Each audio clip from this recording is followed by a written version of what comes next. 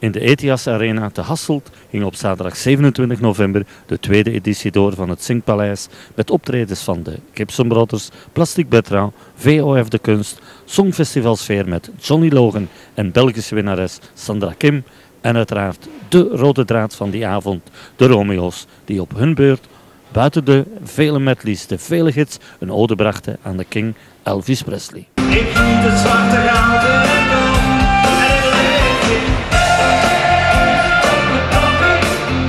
Je hebt net jouw twee grote successen uit de jaren 80 gezongen. Suzanne, natuurlijk het kopje koffie. Eh, ja, ja, daar ontkom je niet aan. Hè. Dat draag je je hele leven mee, denk ik. En het, eh, dat vind ik eigenlijk ook wel leuk. Dat je gewoon iets maakt waar mensen nu nog plezier aan beleven.